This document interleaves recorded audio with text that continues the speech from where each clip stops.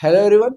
So in this video we are starting with assumptions underlying indifference curve analysis. So just इसके पहले आपने indifference curve analysis का video देखा होगा अगर नहीं देखा हो तो please go and watch the previous video and in the same day क्योंकि वो आधे घंटे का ही वीडियो तो same day you will start with 2.10 that is assumptions underlying indifference curve approach इस वीडियो को आप तुरंत स्टार्ट करोगे दोनों भी वीडियो इसके पहले का और ये ये दोनों video it is expected that you will watch both of this video in the same day and in the continuation okay so physical class में ये दोनों वीडियो एक साथ में ही होते थे।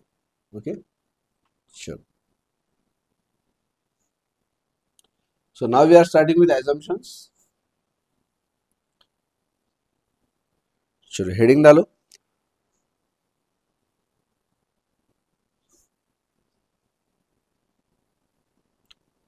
हेडिंग डालेंगे two point ten two point ten assumptions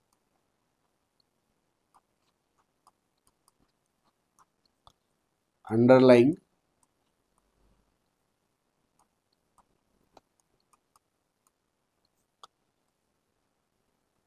indifference curve approach ठीक है सो जैसे इकोनॉमिक्स में कोई भी थियरी हम देखते हैं तो we always look at what are the assumptions है ना? हर इसमें एजम्पशंस इंपॉर्टेंट बनते हैं, क्योंकि वो अगर एजम्पशंस अगर सही बैठ रहे तो ही आपका एनालिसिस सही बैठेगा। अगर कहीं पे भी आपके एजम्पशंस गलत हो रहे तो वो आपका जो भी थियरी है, जो भी कॉन्सेप्ट है, वो आपका वर्क नहीं करेगा, अगर एजम्पशंस वर्क नहीं कर रहे तो। ओके चलो तो देखो, सबसे पहला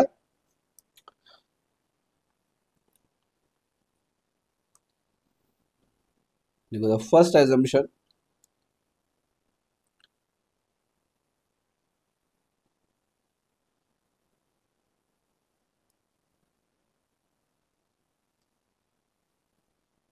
चलो, लिख लिया हेडिंग वगैरह। करना है स्टार्ट चलो, लिखो पहला।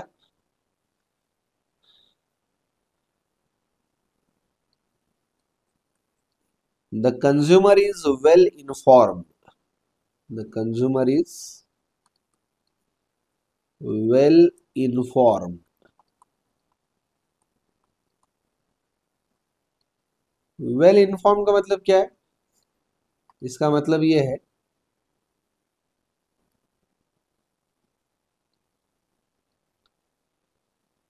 consumer knows consumer knows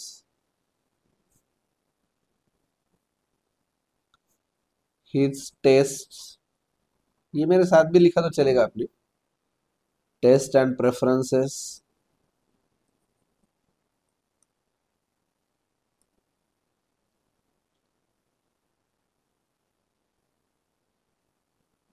उसका income demand supply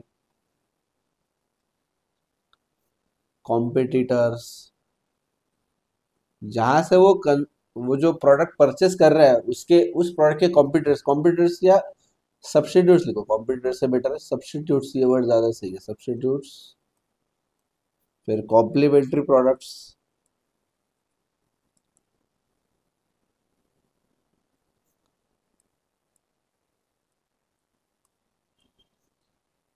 and all other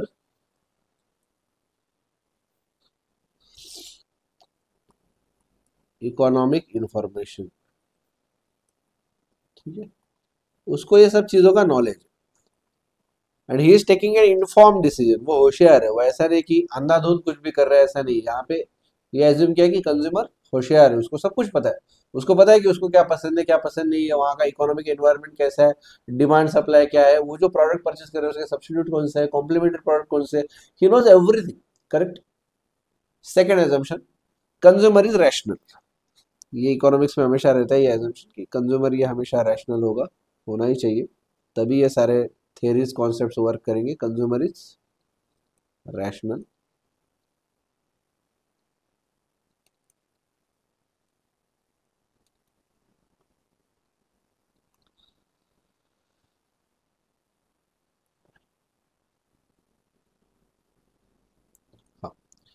तो कंज्यूमर इज़ रैशनल का यहाँ पे मतलब क्या है?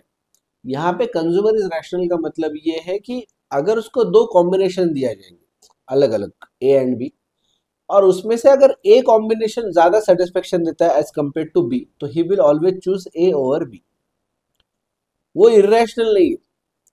उसको ध्यान में आता है कि उसके लिए क्या सही है, क्या गलत है। ओके तो उसको अगर दो कॉम्बिनेशन दिया जाए ए और बी तो वो जो ज़्यादा सेटिस्फेक्शन जो देता है, वो कॉम्बिनेशन वो चूज़ कर सकता है। उतना होशियार, उतना रैशनल वो है। ठीक है? लिखो। कंज्यूमर रैशनल का मतलब क्या है? If two combination are given if two combination are given he can choose he can correctly choose correctly लिखो रैशनल है ना वो he can correctly choose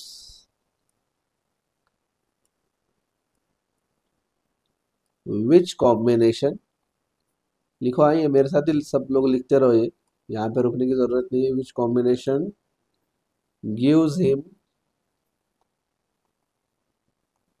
more satisfaction more satisfaction and he will choose that combination and he will prefer that combination choose से better prefer लिखो। He will prefer that combination. तो ये, वो उतना लायक है, उतना होशियार है, उतना रैशनल कि उसको समझ आता है कि अपने लिए सही क्या है, गलत क्या है, कौन सा ज़्यादा सेटिस्फेक्शन देता है, कौन सा कम देता है। And he is able to choose that okay he is able to correctly choose that combination correct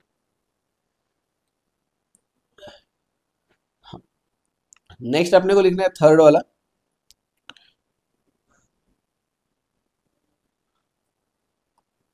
Ordinal measurement of utility ordinal measurement of utility. So here it is assumed that here it is assumed that a rank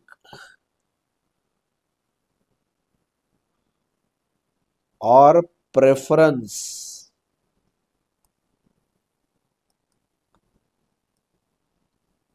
can be decided.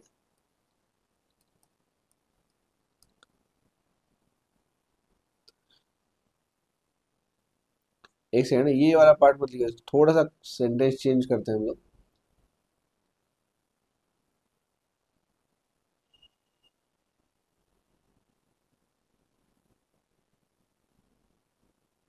इसको थोड़ा सा अच्छे से ये लिखेंगे हम लोग कि इफ़ एक सेकेंड इसको कट कर देंगे।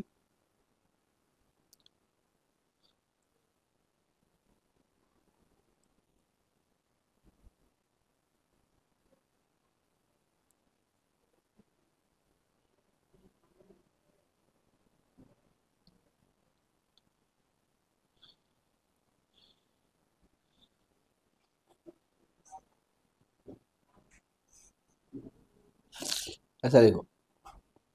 इफ़ हाँ ऐसा देखो। If different combination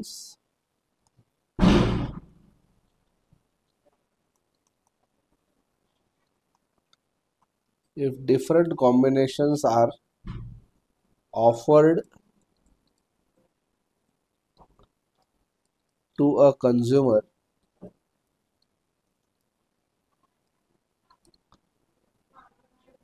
he can rank those combinations.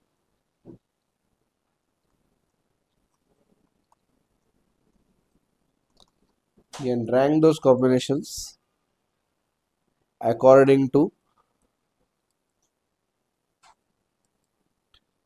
his level of satisfaction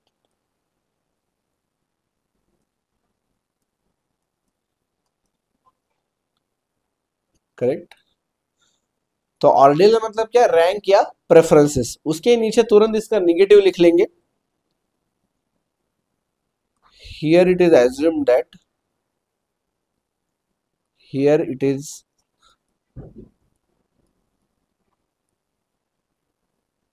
assume that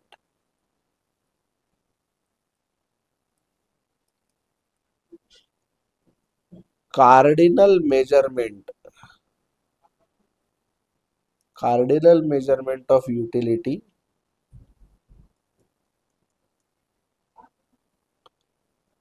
Is not possible.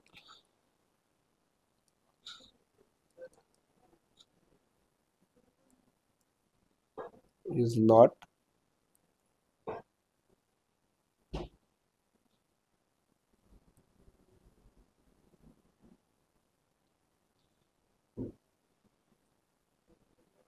is not possible इसका मतलब क्या है that is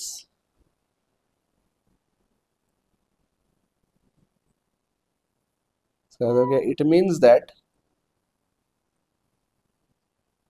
it means that we cannot measure utility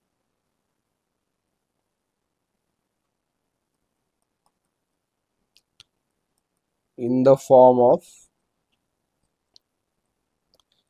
in the form of numbers. ठीक है? We can not measure utility in the form of numbers तो numbers में utility को measure करना मतलब कार्डिनल मेज़रमेंट तो यहाँ पे ये एज्यूम किया गया है कि that is not possible cardinal measurement is not possible next लिखना है फोर्थ पॉइंट नेक्स्ट लिखो fourth consumer preferences are transitive consumer preferences consumer preferences are transitive क्या मतलब होता है ट्रांजिटिव का?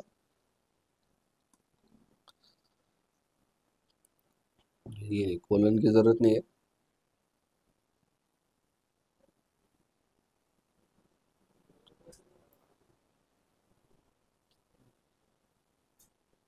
अगर कंज्यूमर को लगता है, सुनो ट्रांजिटिव का मतलब क्या है?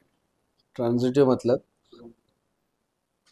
इफ़ कंज्यूमर थिंक्स या feels if consumer feels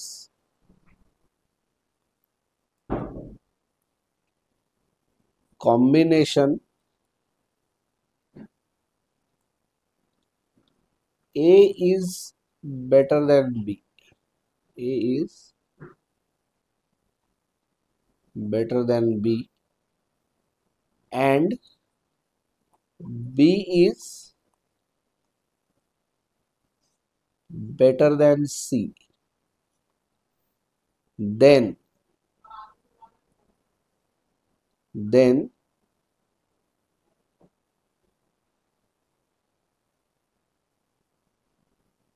he must consider he must consider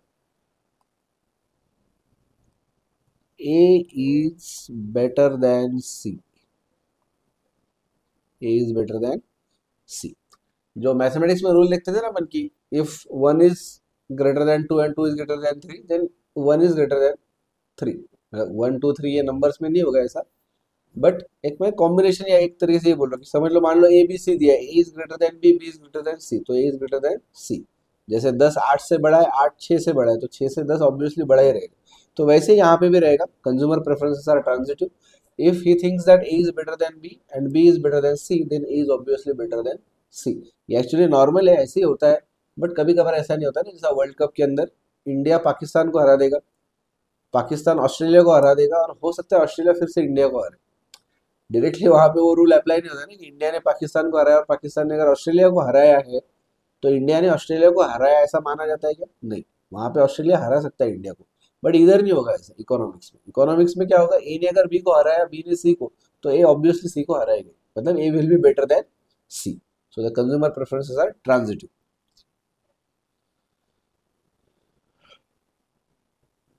हाँ। And now the last prefer last assumption लिखना है अपने को। मोर द बेटर लिखो। More the better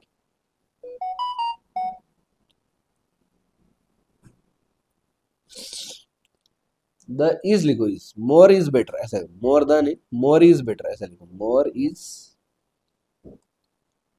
बेटर इसका मतलब क्या है? इसका मतलब if combination if combination A has more goods than B, then combination combination A is better than B. इसका एग्ज़ाम्पल लिखेंगे अपन तो ही ध्यान में आएगा ही। नहीं तो ये बहुत कंफ्यूजिंग होता है। इसका एग्ज़ाम्पल लिखो। एग्ज़ाम्पल वही वाला लेंगे अपन चॉकलेट्स और ड्रेस, पहले ड्रेस लिया था ना? हाँ ड्रेस और चॉकलेट्स। ड्रेस और चॉकलेट्स। दो मिनट के लिए अभी मत लिखो। आपने अगर एग्जामेशन लिख लिए होंगे, बहुत अच्छी बात है। अभी एक दो मिनट के लिए रुक जाओ, सिर्फ़ बोर्ड पे कॉन्सेंट्रेट करो।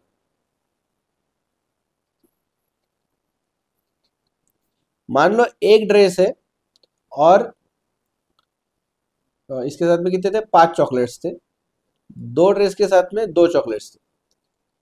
तो पाँच और एक टोटल कितना हो रहा है छ और ये दो और दो टोटल कितना हो रहा है चार। तो six is greater than four तो इसके लिए कॉम्बिनेशन अच्छा ये कॉम्बिनेशन को भी नाम दे देते ए और बी है ना? एग्ज़ाम्पल ये कॉम्बिनेशन ए है और ये है बी तो combination A is better than B ऐसा नहीं है। ये जो लिखा हमने, ये गलत है, ठीक है?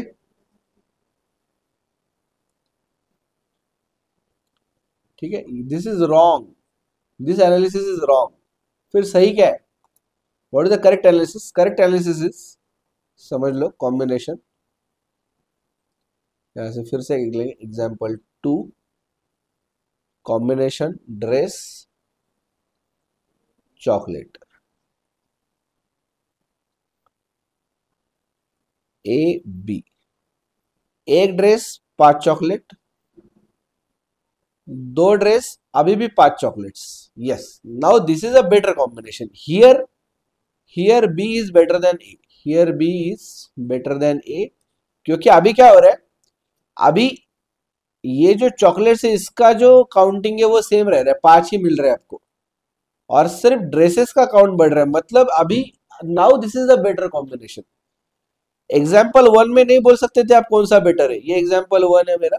ये एग्ज़ाम्पल टू है, ठीक है? ये एग्ज़ाम्पल वन ये एग्ज़ाम्पल टू तो एग्ज़ाम्पल वन में नहीं बोल सकते थे क्योंकि कॉम्बिनेशन चेंज हो रहे हैं ना। ड्रेस एक की जगह दो मिल रहे हैं चॉकलेट पाँच की जगह दो हो रहे ठीक है ना? ड्रेस तो एक की जगह दो हो गया ना। कुछ कम हो रहा है तो कुछ बढ़ रहा है तो यू कैनॉट एक्चुअली मेजर क्योंकि टोटल काउंट करके मतलब नहीं ना यहाँ पे समझ आ रहा है आपको? यहाँ पे कार्डिनल मेज़रमेंट नहीं है नंबर्स पे से नहीं जाना है। तो टोटल नहीं करना है कैलकुलेट आपको। आपको यहाँ पे कैसे देखोगे आप? कब कॉम्बिनेशन बेटर रहेगा? एक को कांस्टेंट रखना पड़ेगा।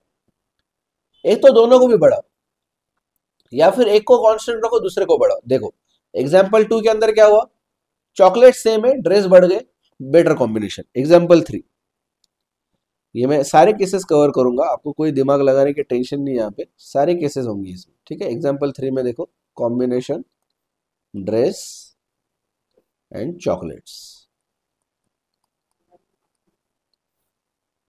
A और बी ए के अंदर एक ड्रेस था, पाँच चॉकलेट थे। एग्ज़ाम्पल टू में हमने चॉकलेट सेम रखे थे, पाँच। और ड्रेसेस बढ़ा दिए थे। अभी ड्रेसेस सेम रखो, एक ही ड्रेस है, लेकिन अभी चॉकलेट छह है। Here also B is better than A equal नहीं। Correct B is better than A ठीक है? एग्ज़ाम्पल फोर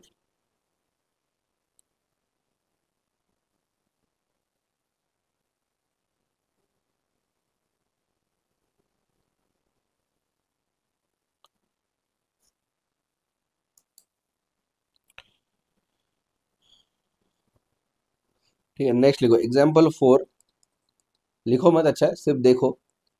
दो मिनट के लिए सिर्फ़ देख लो। Combination A and B dress chocolate पहले में एक ड्रेस था, पाँच चॉकलेट थे, अभी दो ड्रेसेस है, दस चॉकलेट है। दोनों भी बढ़ रहे here also B is better than A ठीक है? आया ध्यान में?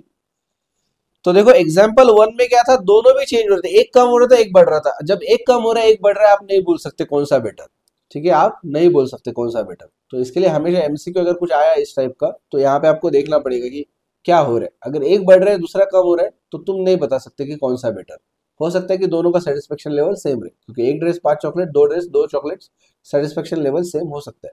तो सिर्फ़ टोटल नहीं करना है इसकी टोटल नहीं करेंगे आप। ठीक है ना? तो मोर इज़ बेटर के अंदर टोटल नहीं करना है। Please remember this more is better के अंदर टोटल नहीं करना है। एग्ज़ाम्पल टू में क्या हुआ था? ड्रेसेस बढ़ गए चॉकलेट सेम रहे। अभी ऑब्वियसली बेटर है ना ये। चॉकलेट तो पहले भी पाँच मिल रहे थे, अभी भी पाँच मिल रहे कोई टेंशन नहीं। ड्रेसेस एक की जगह दो मिल गए मतलब बेटर है कि नहीं? थोड़ा फील करके देखो यार। सिर्फ़ ऐसा मत समझो कि ये पढ़ाई कर रहे हैं आप। एक नॉर्मल लाइफ में प्रैक्टिकली सोचो कि मुझे, मैंने आपको बोला कि एक कॉम्बिनेशन में पाँच चॉकलेट एक ड्रेस है, दूसरे कॉम्बिनेशन में पाँच ही चॉकलेट है। चॉकलेट पाँच ही मिल रहे हैं आपको, पहले जितने मिल रहे बट अभी ड्रेस में बढ़ा रहा हूँ, एक से दो। तो ये ऑब्वियसली बेटर कॉम्बिनेशन है, दो ड्रेस मिल रहे राइट एग्ज़ाम्पल थ्री में क्या होता है ड्रेस सेम रह रहा था। पहले भी एक ड्रेस दे रहा था, अभी भी एक ड्रेस लेकिन पहले चॉकलेट पाँच दे रहा था, अभी छह। तो ऑब्वियसली ये बेटर है ना। मुझे तो चॉकलेट ड्रेसेस तो पहले भी एक ही मिल रहे थे, अभी भी एक मिल रहा है, लेकिन चॉकलेट ज़्यादा मिल रही मतलब ये बेटर और एग्ज़ाम्पल फोर में हमने दोनों भी बढ़ा दिया। ड्रेस को भी एक की जगह दो कर दिया चॉकलेट को भी पाँच की जगह दस कर दिया। दोनों बढ़ रहे मतलब ये बेटर कॉम्बिनेशन करेक्ट समझा? तो इस तरीके से ये पाँच एजम्पन्स थे। चलो, इसको अपन अभी फटाफट मॉडल देख ले क्या चलो।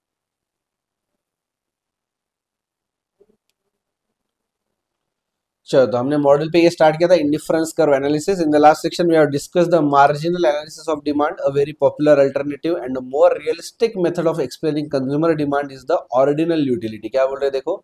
More realistic and a very popular alternative इस पे भी हमसे क्या आते कभी कभी कि ज़्यादा पॉपुलर कौन सी है, ज़्यादा सही कौन सी है मोर रियलिस्टिक कौन सी है?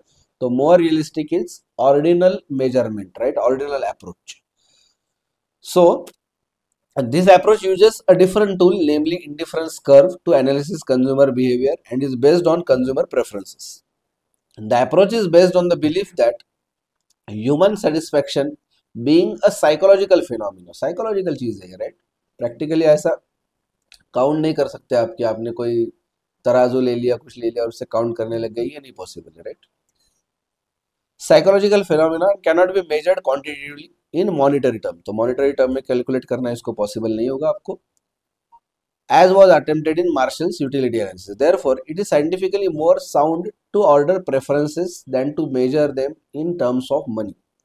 The consumer preference approach is therefore an ordinal concept based on ordering of preferences compared with Marshall's approach of cardinality. तो Marshall ने cardinality का approach दिया था हिक्स एंड एलन ने कौन सा अप्रोच दिया है ऑर्डिनल अप्रोच तो देखो assumptions The foundation of consumer behavior theory is the assumption that the consumer knows his own taste and preferences and possesses full information about all the relevant aspects of economic environment. All the aspects of economic environment क्या उसका income कितना afford कर सकता है कितना नहीं वो product के सब्सिट्यूट कौन से है कोई कॉम्पिटिटर है क्या सेलर को वो प्रोडक्ट के अल्टरनेटिव्स कौन से है बाकी सारी सारी चीज़ों का उसको नॉलेज है right second The consumer is rational and tends to take rational actions that result in a more preferred consumption bundle over a less preferred bundle. हमने ये एग्ज़ाम्पल लिया था इसका कि अगर ए अगर बेटर है बी से।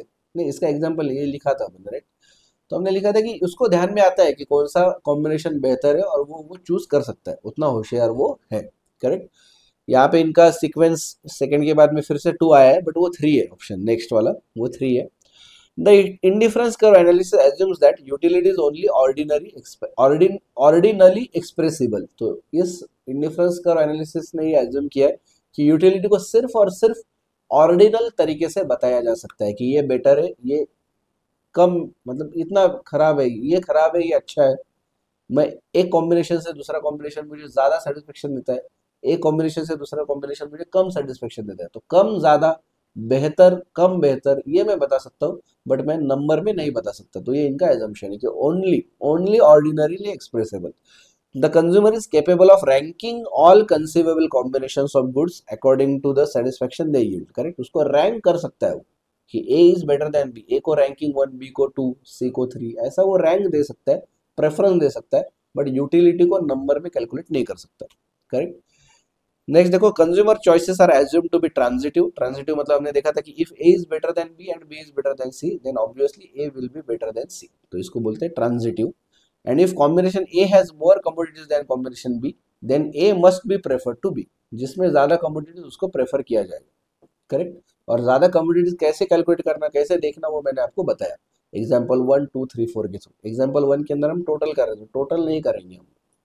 करेक्ट चलो. नेक्स्ट है इंडिफरेंस कर्व्स जो हमने एनालिसिस पूरा पढ़ा, ये सब उन्होंने दिया है। इसमें आप पढ़ लो एक बार। अपन ने जो पढ़ा इससे कुछ अलावा अलग नहीं है इसके अंदर, वही टेबल है ग्राफ है। और वही इनका बोलना है कि जो सारे जो पॉइंट है, इन्होंने ज़्यादा पॉइंट ली ए बी सी डी वगैरह। हाँ वही है ए बी सी डी चार पॉइंट है। और देखो, इन्होंने आईसी वर्ड यूज़ किया। आईसी यानी कि इंडिफरेंस कर ये यहाँ पे जो वर्ड दिख रहा है आपको ये? ये वाला। ये यहाँ पे आईसी है ना? आईसी मतलब इंडिफरेंस कर ठीक है। तो ये पार्ट हमारा हो गया।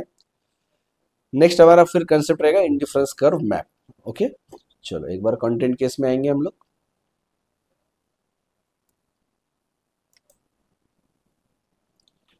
अच्छा तो ये देखो, ये आ गए हम कंटेंट के ऊपर। हमने indifference curve analysis last video में देखा था और इस वीडियो में हमने क्या कवर किया अभी?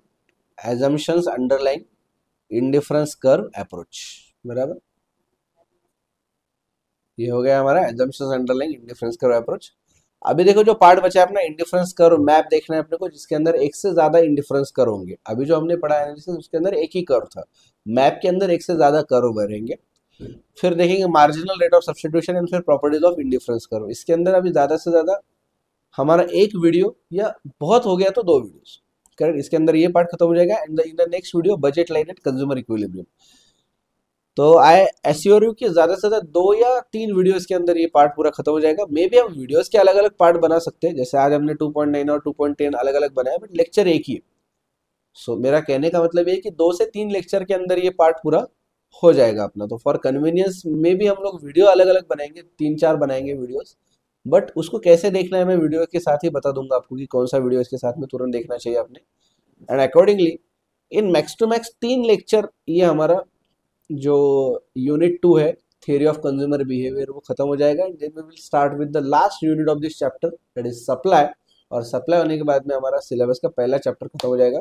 मतलब सिलेबस वाइज देखा तो सेकेंड चैप्टर बट हमारी क्लास में हमने ये पहले चालू किया था। तो एक चैप्टर हमारा पूरा खत्म हो जाएगा okay so please stay tune and watch the video sequentially with discipline and properly उसको देखते रहो रोज के रोज ओके चलो, मिलते हैं फिर नेक्स्ट वीडियो में। अभी के लिए बाय बाय